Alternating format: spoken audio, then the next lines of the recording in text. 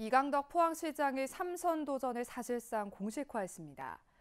민선 7기 3주년 회견에서 해왔던 일을 마무리하고 싶다며 도전 의사를 밝혔는데요.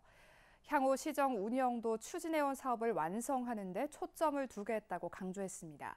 장효수 기자가 보도합니다. 최근 일부 언론을 통해 삼선 도전 의사를 피력했던 이강덕 포항시장이 삼선 도전을 사실상 공식화했습니다. 이 시장은 30일 민선 7기 3년 기자 간담회에서 중요한 건 시민의 뜻이겠지만 기회가 주어지면 해왔던 일을 마무리하고 싶다며 출마 의지를 밝혔습니다. 지속 가능한 도시 모양으로 해놓겠다 하면은 그에 대한 간절한 꿈이 있습니다. 어떤 형태로든 그러한 것들을 확실하게 기반을 구축해 놓고 싶은 것이 제 신정입니다.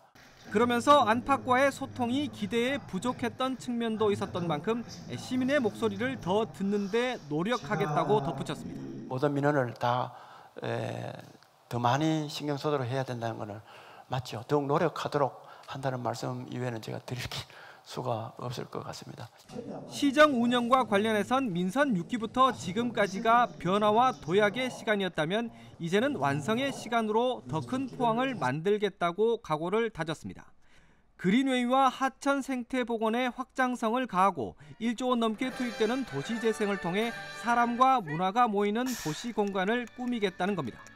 배터리와 바이오 등 3대 혁신 산업 클러스터 완성에도 역량을 집중하고 포항 관광의 새로운 길도 개척하겠다고 덧붙였습니다. 수도권의 버금가는 또는 그 이상이 되는 의료 복지 체계를 갖추고 장차는 바이오 산업의 메카가 될 수 있는 그런 기반을 구축할 것입니다. 문화와 예술, 스포츠 어, 이런 것들과 함께 생애 전주기에 걸친 생활 복지를 재임 기간 지표상 감소한 포항 인구 회복에 대해선 지방의 정주 여건 기반이 더 다져져야 한다며 수도권 집중 현상을 비판했습니다. 이 시장은 아울러 지진과 코로나 등 각종 재난 극복과 안전 도시 구축, 경제 활성화를 동시에 이루어 나가는 게 큰 과제라고 꼽았습니다. HCN 뉴스 장효수입니다.